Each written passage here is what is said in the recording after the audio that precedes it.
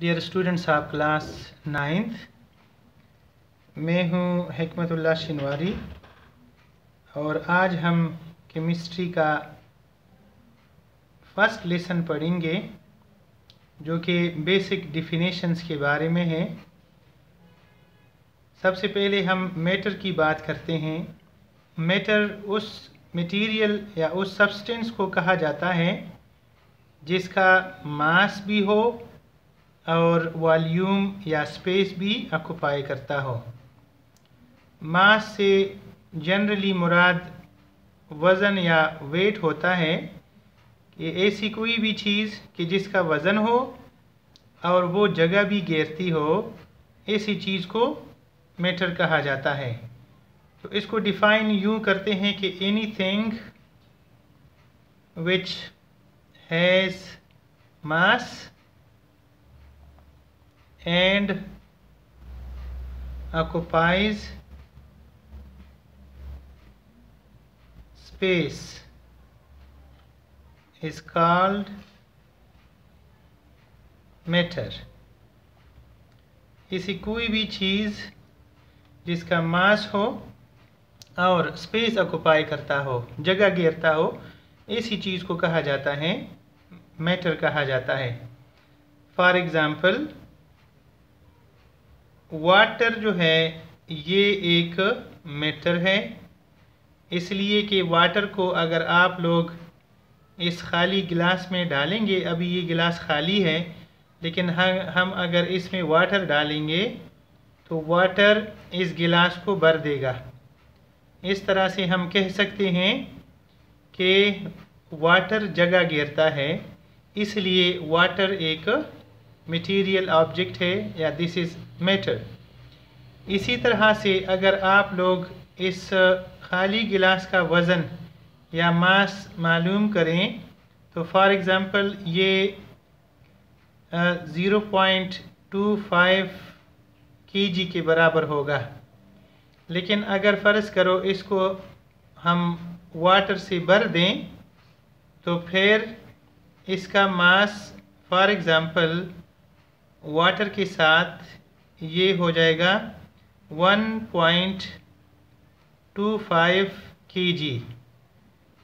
अब अगर आप लोग जानना चाहते हैं कि मास ऑफ़ वाटर कितना है तो मास ऑफ़ वाटर अब बराबर होगा to one point two five minus zero point two five equal to one K G चूँकि वाटर डालने से इस गिलास का वज़न बढ़ जाता है, इसलिए हम कह सकते हैं कि वाटर का एक वज़न होता है या मास होता है। और सिमिलरली खाली गिलास को इसने भर दिया है तो इसका ये मतलब हुआ कि वो स्पेस भी ऑक्यूपाई करता है। इसलिए वाटर जो है, ये एक मेटर है या एक मटेरियल ऑब्जेक्ट है। इसी तरह से दूसरा एग्ज़ाम्पल है। Example number two for example iron iron लोहे को कहा जाता है। आयरन का एक टुकड़ा, मिसाल के तौर पर अगर आप लोग ले लें तो इस टुकड़े का मास भी होता है और ये स्पेस भी ऑक्यूपाई करता है। इसीलिए आयरन का ये जो टुकड़ा है, ये मैटर का एक एग्ज़ाम्पल है। तीसरे नंबर पर हम लेते हैं एयर फॉर एग्ज़ाम्पल एयर है या फॉर एग्ज़ाम्पल कोई भी गैस है, जैसे कि ऑक्सीजन गैस है या कार्बन डाइऑक्साइड गैस है, वो भी स्पेस ऑक्यूपाई करते हैं। सिमिलरली इनका मास भी होता है। सपोज़ करें कि आपके पास एक गुब्बारा है और ये गुब्बारा अभी आपने किसी गैस या हवा से भरा नहीं है तो इस बैलून का मास भी कम होता है और इसका वॉल्यूम भी कम होता है। लेकिन अगर आप इसमें एयर या कोई भी गैस इसमें डाल दें तो इस तरह से ये गुब्बारा ऐसे बड़ा हो जाता है। तो गुब्बारा बड़ा हो जाता है किस वजह से? क्योंकि इसमें गैस आ जाती है। गैस स्पेस भी ऑक्यूपाई करती है और अगर आप इसका मास मालूम करें तो इसका जो मास होगा, वो हाई होगा और ज़्यादा होगा। जबकि यहाँ पर इसका जो मास है, वो लोअर मास होगा। इसलिए हम कह सकते हैं कि air is a kind of metal students, दूसरा डिफिनेशन है एलिमेंट का। एलिमेंट किसे कहते हैं? एक ऐसा मटेरियल सब्सटेंस जो कि सिर्फ़ और सिर्फ़ एक किस्म के एटम से बना होता है। उस सब्सटेंस को एलिमेंट कहा जाता है। तो डिफिनेशन के मुताबिक अ सब्सटेंस कोई भी ऐसा substance that cannot be converted into other simpler substances. Is called element. Students element एक ऐसे मटेरियल या ऐसे सब्सटेंस का नाम है, जिसको हम फर्दर सिंप्लीफाई नहीं कर सकते। इसको हम दूसरे सब्सटेंसेस में या सिंपल सब्सटेंसेस में कन्वर्ट नहीं कर सकते।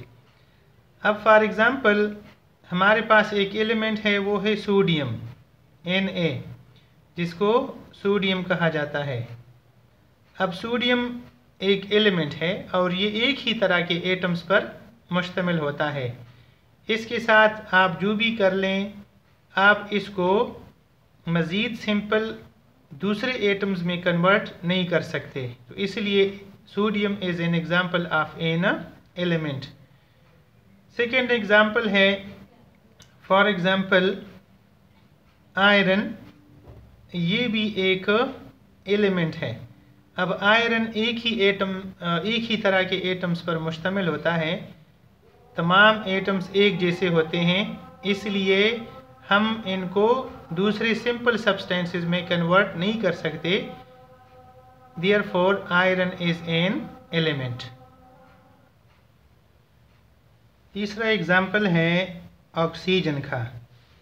ऑक्सीजन गैस जो कि O2 जिसका फार्मूला है वो भी एक एलिमेंट का नाम है। चौथे नंबर पर जो मशहूर एलिमेंट है, वो है एलुमिनियम जिसे आजकल लोग खिड़कियाँ और दरवाजे वगैरह बनाते हैं एलुमिनियम का सिंबल ए एल होता है।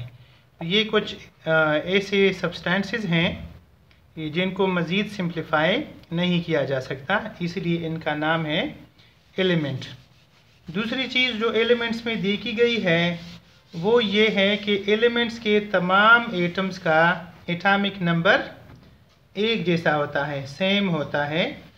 इसलिए हम एलिमेंट को इस तरह भी डिफ़ाइन कर सकते हैं कि द सब्सटेंस, ऐसा कोई भी substance whose all the all atoms have same atomic number atomic number क्या चीज़ है? एटॉमिक नंबर से मुराद होता है। एटॉमिक नंबर का मतलब होता है number of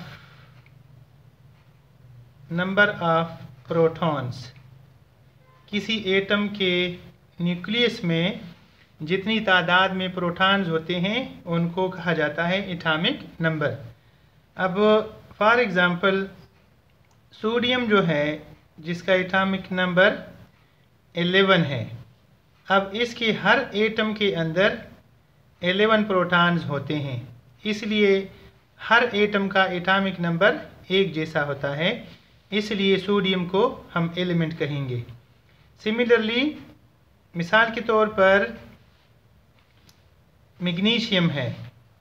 अब मैग्नीशियम के जितनी भी एटम्स होते हैं, उसमें ट्वेल्व प्रोटॉन्स होते हैं। जैसे कि फॉर एग्ज़ाम्पल कार्बन है। कार्बन के तमाम एटम्स में छः प्रोटॉन होते हैं, इसलिए इनका एटॉमिक नंबर सिक्स है। तो कोई भी ऐसी चीज़ जिसके तमाम एटम्स का एटॉमिक नंबर एक जैसा हो, उनको एलिमेंट कहा जाता है। स्टूडेंट्स, अगला डिफिनेशन कंपाउंड का है। कंपाउंड एक ऐसे सब्सटेंस को कहा जाता है कि जो दो या दो एलिमेंट्स के केमिकल कम्बिनेशन से बन जाता है। उनके एटम्स आपस में नेचुरल फोर्सेस के ज़रिए से जुड़े हुए होते हैं और उन फोर्सेस को केमिकल बॉन्ड्स कहा जाता है। बॉन्ड्स के दो तीन टाइप्स होते हैं। इनमें से कोई भी किस्म का, किसी किस्म का बॉन्ड भी दो एटम्स के दरमियान या दो से ज़्यादा एटम्स के दरमियान हो सकता है। तो लेट्स डिफाइन इट हम इसको डिफाइन करते हैं। A compound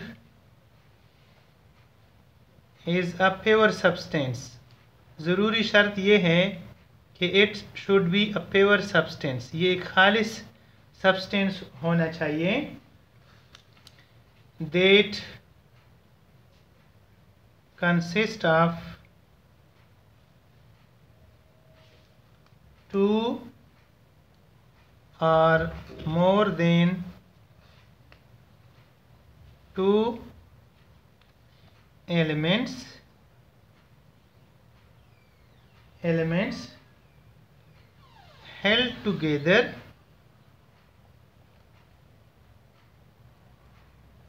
in fixed proportion in fixed proportion by natural forces called chemical bonds for example water जो है ये एक कंपाउंड है। वाटर किस तरह से बनता है? जब हाइड्रोजन गैस और ऑक्सीजन गैस को आपस में रिएक्ट कराया जाता है, यानी हाइड्रोजन गैस को बर्न किया जाता है तो इन दोनों की मिलने से एक कंपाउंड हासिल होता है, जिसका नाम है वाटर और उसका फार्मूला है एच टू ओ यहाँ वाटर मालिक्यूल में हाइड्रोजन और ऑक्सीजन के बीच एक अट्रैक्टिव फोर्स मौजूद है, इसका नाम है कोवेलेंट बॉन्ड तो हाइड्रोजन और ऑक्सीजन एलिमेंट्स आपस में मिले हुए हैं थ्रू कोवेलेंट बॉन्ड इसी तरह से जो दूसरा हाइड्रोजन है, वो भी ऑक्सीजन के साथ एक कोवेलेंट बॉन्ड के ज़रिए से मिला हुआ है.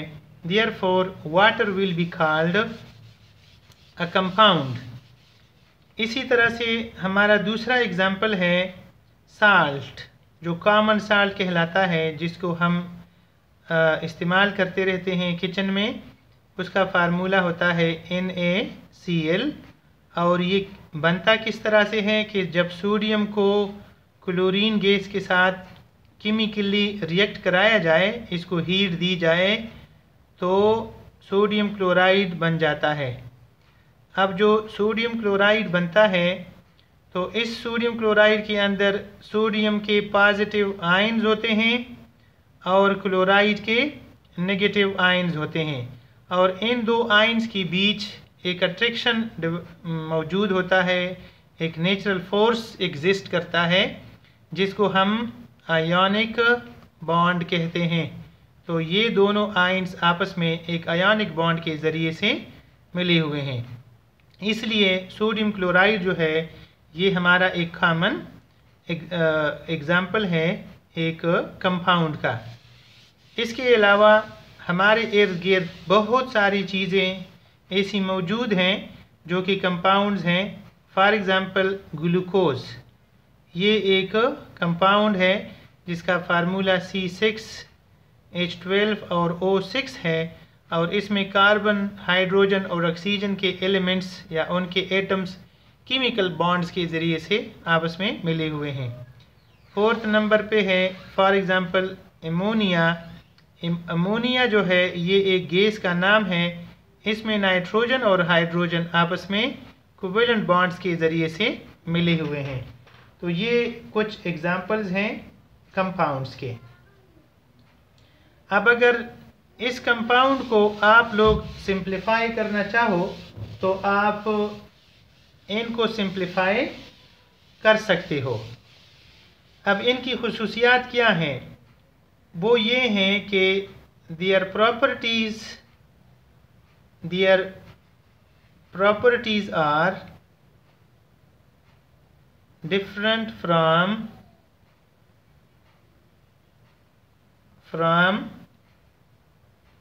their elements जो इनके एलिमेंट्स हैं उनकी करेक्टरिस्टिक्स उनकी प्रॉपर्टीज़ कुछ और होंगी, जबकि इनकी प्रॉपर्टीज़ इनसे मुख्तलिफ़ होंगी। अब फॉर एग्ज़ाम्पल हाइड्रोजन गैस जो है इट बर्न्स ये आग पकड़ती है, इसको जलाया जा सकता है। It can be burned oxygen gas जो है, वो इट हेल्प्स इन बर्निंग यानी जहाँ जहाँ पर बर्निंग होती है कंबस्शन का प्रोसेस होता है फ्यूल डीजल वगैरह जलता है, कोयला जलता है, लकड़ी जलती है, वहाँ ऑक्सीजन की मौजूदगी ज़रूरी होती है और ऑक्सीजन उसमें हेल्प करती है। बट वाटर जो है, जो कि इनका कंपाउंड है, ये न तो बर्न करता है, ना ही ये इसकी बर्निंग हो सकती है, न इनको जलाया जा सकता है। नॉर हेल्प्स इन बर्निंग न ही ये बर्निंग में हेल्प करता है। आपको पता है कहीं आग बुझाना हो तो लोग पानी डालते हैं। पानी न तो खुद जलने वाला मटेरियल है और न ही वो बर्निंग प्रोसेस को स्पीड अप करता है। इसलिए हम कह सकते हैं कि वाटर के जो प्रॉपर्टीज़ हैं, वो इनके एलिमेंट से टोटली डिफरेंट होते हैं। इसी तरह से एक और एग्ज़ाम्पल है कि जैसे for example carbon dioxide gas है। कार्बन डाइऑक्साइड अब कार्बन डाइऑक्साइड एक गैस है तो देखिए कार्बन जो है, ये सॉलिड होता है और इसका कलर ब्लैक होता है। इसका कलर ब्लैक है और ये एक सॉलिड सब्सटेंस है। ऑक्सीजन जो है ये गैस है और ये कलरलेस होता है। कलरलेस होता है। बट कार्बन डाइऑक्साइड गैस जब कार्बन से बनती बनती है तो कार्बन डाइऑक्साइड गैस एक गैस है। सिमिलरली ये एक कलरलेस कंपाउंड है। इसलिए हम कह सकते हैं कि कार्बन डाइऑक्साइड की जो कलरनेस कलरलेसनेस है या उनका कलर है वो कार्बन के ब्लैक कलर से टोटली डिफरेंट है। एक और एग्जांपल मैं आपको देता हूँ, वो है आयरन सल्फाइड का। आयरन सल्फाइड आयरन से बनता है, जो कि एफ़ ई है, और सल्फ़र से बनता है। इन दोनों को जब हम हीट करते हैं, उन दोनों से आयरन सल्फाइड बनता है। अब आयरन जो है it can be attracted by magnet attracted by magnet magnet इसको अपनी तरफ़ अट्रैक्ट करता है। सल्फ़र जो है नॉट अट्रैक्टेड इसको मैग्नेट अपनी तरफ़ अट्रैक्ट नहीं करता। सिमिलरली कार्ब आयरन का जो कलर है, वो ग्रे होता है। लेकिन सल्फ़र का जो कलर है, ये येलो होता है। अब इसके मुकाबले में आयरन सल्फाइड ये एक ब्लैक कलर का मटेरियल है और it is also not attracted by magnet तो हम कह सकते हैं कि मैग्नेटिज्म के हिसाब से आयरन सल्फाइड और आयरन में फ़र्क है। Iron is attracted by magnet iron sulphide sulphide is not attracted sulphur colour के हिसाब से डिफरेंट है। Sulphur is yellow while iron sulphide is a black material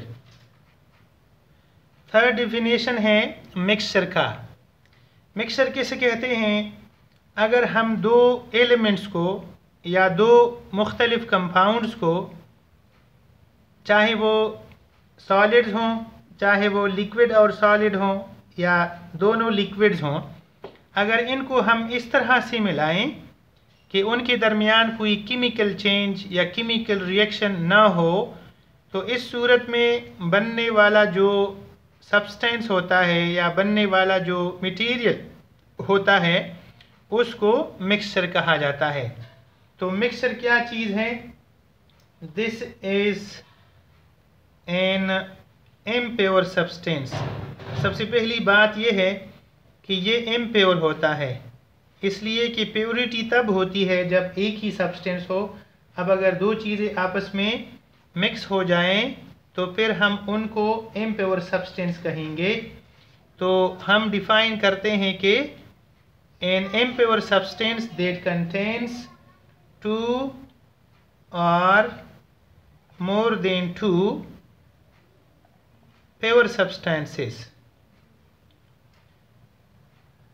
pure substances substances that retain their individual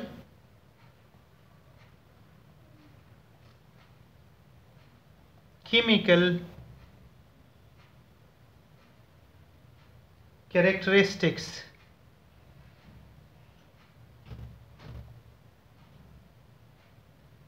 is called a mixture सबसे पहली बात यह है कि ये एम्प्योर सब्सटेंस होता है। इसलिए एम्प्योर होता है because it contains two or more than two pure substances मिसाल के तौर पर आप एक गिलास में पानी ले लें। इसमें अब पानी पड़ा हुआ है और पानी का कोई कलर नहीं है। तो ये एक कलरलेस वाटर है। अब अगर आप इसमें मिसाल के तौर पर रेड इंक डाल दें, रेड कलर का इंक डाल दें, या रेड कलर का कोई भी सॉलिड सब्सटेंस इसमें मिलाएँ तो ये क्या होगा थोड़ी देर के बाद कि ये जो गिलास है, इसमें जो अब बनने वाला मटेरियल होगा that will be of red colour ये रेड कलर का होगा और इसमें रेड कलर पूरी तरह से मिक्स हुआ होगा। इंक इसमें पूरी तरह से मिक्स हो चुका है। इस चीज़ को अब हम क्या कहते हैं? इसको हम मिक्सचर कहते हैं। अब ये, हम ये कहते हैं कि that retain their individual chemical characteristics यानी यहाँ पर पानी के वही करेक्टरिस्टिक्स होंगे जो यहाँ पर हैं। कोई चेंज उसमें नहीं होगा। वो इस तरह से है कि अगर फ़र्ज़ करो, हम इस पानी में सपोज़ कर लें कि सोडियम का एक टुकड़ा डाल दें। सोडियम का टुकड़ा इसमें डाल दें तो सोडियम इसके साथ रिएक्शन करेगा और इसको आग लग जाएगी। इट विल केच फायर इतना एक्जोथर्मिक रिएक्शन होता है कि सोडियम जब इसके साथ रिएक्शन करने लगता है तो सोडियम को आग लग जाती है। बल्कि आग उस हाइड्रोजन को लगती है जो इस प्रोसेस में बनती रहती है। सिमिलरली अगर फ़र्ज़ करो सोडियम हम इसमें डाल दें जो कि एक सोल्यूशन है, या एक मिक्सर है तो still it will catch fire यहाँ पर भी पानी का वही बिहेवियर होगा जो यहाँ पर है। तो हम कह सकते हैं कि they retain their individual chemical characteristics इसी तरह से हमने यहाँ पर जो डाला था, वो रेड इंक था।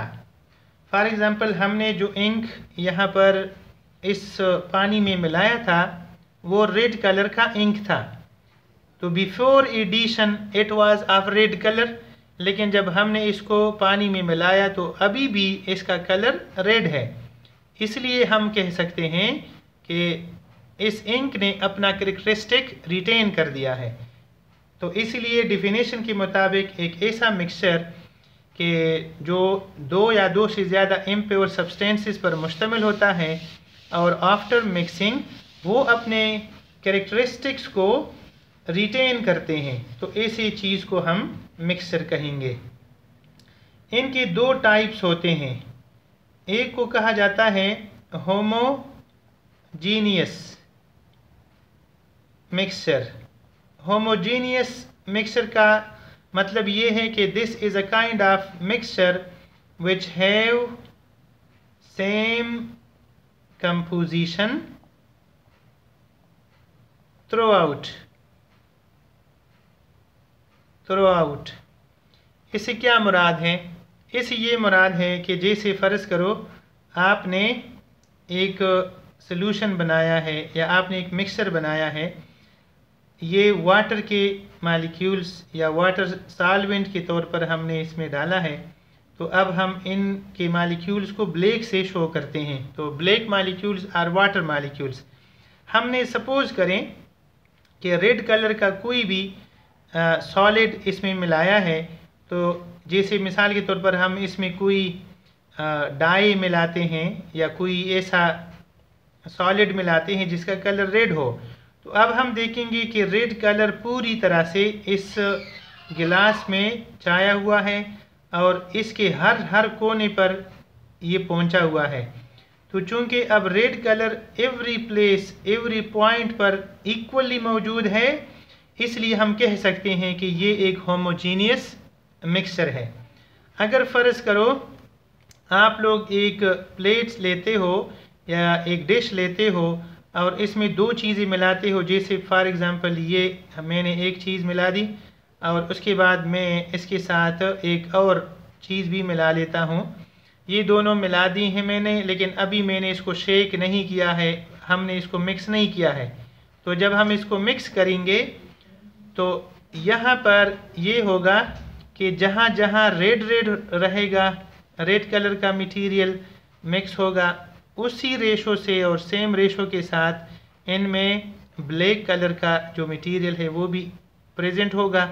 आप जहाँ से मर्ज़ी एक टुकड़ा उठा लें तो इसमें आपको रेड कलर भी नज़र आएगा, यानी रेड सब्सटेंस भी प्रेजेंट होगा और उसी हिसाब से इसमें ब्लैक भी प्रेजेंट होगा। तो हम कह सकते हैं कि इस पॉइंट पर या इस पॉइंट पर या किसी भी पॉइंट पर कंपोजिशन दोनों का सेम होगा। कंसंट्रेशन दोनों का सेम होता है। इसलिए हम इसको अब होमोजीनियस मिक्सचर कहते हैं। दिस इज़ कॉल्ड होमोजीनियस इसके मुकाबले में जो दूसरा है, उसको कहा जाता है हेट्रोजीनियस हेट्रोजीनियस मिक्सचर एक ऐसे मिक्सचर को कहा जाता है कि जिसका कंपोजिशन थ्रू आउट सेम नहीं होता। यानी it has no it have it doesn't have, या हम ये कह सकते हैं कि its composition is not same throughout. जैसे फॉर एग्ज़ाम्पल सॉइल है। सॉइल इसका एक अच्छा एग्ज़ाम्पल है। सॉइल में किसी किसी जगह पर, मिसाल के तौर पर रेत होती है, जैसे सेंड है, फॉर एग्ज़ाम्पल रेत होती है, उसके साथ, फॉर एग्ज़ाम्पल मट्टी भी होती है। यानी जो चकनी मट्टी होती है, वो भी साथ शामिल होती है। किसी जगह पर छोटे मोटे पत्थर भी होते हैं स्टोन्स या कंकर भी होते हैं। तो अब एक, किसी जगह पर, मिसाल के तौर पर, सॉइल है, किसी जगह पर सेंड है, किसी जगह पर स्टोन्स हैं तो हर जगह ये मुख्तलिफ़ होते हैं। किसी जगह पर ये ज़्यादा होते हैं अमाउंट में स्टोन्स और किसी जगह पर कम होते हैं। इसलिए हम कह सकते हैं कि सॉइल जो है ना, ये एक हेट्रोजीनियस मिक्सचर का एक एग्ज़ाम्पल है। सिमिलरली जब तक हमने इसको मिक्स नहीं किया, इसको भी हम हेट्रोजीनियस मिक्सचर कह सकते हैं। इसलिए कि इसका कंपोजिशन भी हर जगह या पूरी बॉडी में सेम नहीं है। तो ये था हमारा आज का लेक्चर जो कि बेसिक डिफिनेशंस के बारे में है। अगले लेक्चर में हम मज़ीद डिफिनेशंस पढ़ेंगे जो नाइन्थ के कोर्स में शामिल हैं। तब तक के लिए खुदा हाफिज़ और अल्लाह ताला आपका हामी और नासिर हो। आ, मेरे इस चैनल को आप ज़रूर सब्सक्राइब करें ताकि आपको अच्छी अच्छी वीडियोज़ मिलें। और अगर कोई क्वेश्चन है तो आप कमेंट्स में लिख दीजिए। थैंक यू वेरी मच शुक्रिया।